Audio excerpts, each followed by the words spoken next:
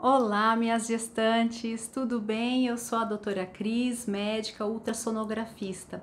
Hoje eu queria responder mais uma pergunta que eu recebo com certa frequência no meu consultório obstétrico.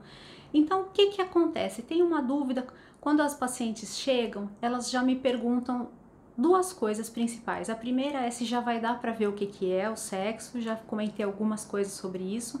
E uma outra que é relativamente frequente é se dá para saber o dia certo que engravidou. Olha, essa eu sempre falo assim, essa é a pergunta de um milhão de dólares. Eu gostaria que desse para saber, mas não dá, não é possível. É, outro dia a paciente me questionou, mas não existe um ultrassom que mostra o dia que engravidou? Não, não existe. Só existe se fosse uma fertilização in vitro. Aí a gente sabe que foi colhido o óvulo, que foi colocado o espermatozoide e o dia que foi colocado dentro do útero. Aí você sabe, engravidou naquele dia. Fora isso, na vida normal do dia a dia não é possível. Por quê? Porque nós não somos matemática, nós somos gente. Gente tem um monte de variação hormonal, gente tem uma ovulação irregular, a ovulação não é matemática, a gente fala muito daquele negócio de 14 dias depois que desce a menstruação. Gente, isso não é matemática. Existem casos de mulheres que ovularam na menstruação. Existem casos que você naquele mês pode ter ovulado dois dias antes, dois dias depois. E, e outra, o óvulo, a partir do momento, o que, que é a ovulação? A ovulação é o momento que o ovo sai do ovário. O ovário, ele é uma coisinha assim, que parece uma noz. Aquela noz tem várias bolinhas, aquelas bolinhas são os folículos onde moram os óvulos. Todos os meses, um desses folículos, ou até mais, vai crescendo, crescendo, crescendo. Ele chega num certo tamanho, se rompe libera um ovo, que é o óvulo. Esse óvulo tem uma vida de aproximadamente dois dias. Então ele está dando sopa lá, esperando o espermatozoide chegar durante dois dias.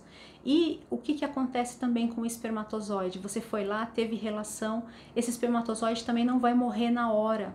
Ele vai entrar no seu canal vaginal, vai entrar no seu útero e ele pode ficar esperando um óvulo aparecer lá por até três dias. Alguns estudos falam que poderia chegar até cinco dias, mas a média é até três dias. Então imagina, se o ovo dura dois dias, o espermatozoide pode durar três dias.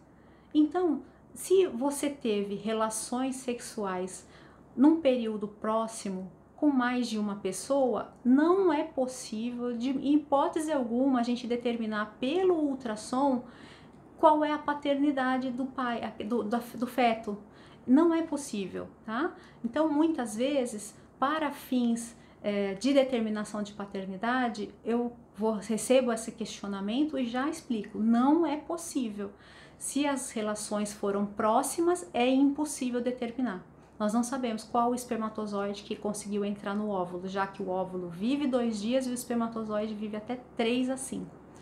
Então, é, para que, que também é usado muito essa pergunta para mim? Quando eu engravidei? Quando eu engravidei? Para questões trabalhistas, questões de empresa, quando demite a funcionária é, que já estava gestante. Para isso, a pessoa vai levar o laudo do ultrassom para o RH da sua empresa e a empresa é que vai avaliar lá.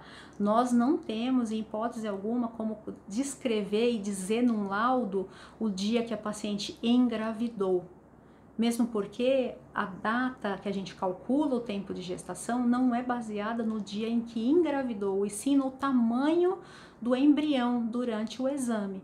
E isso não é contado a partir do dia da gravidez, e sim do dia em que houve a última menstruação, tá bom?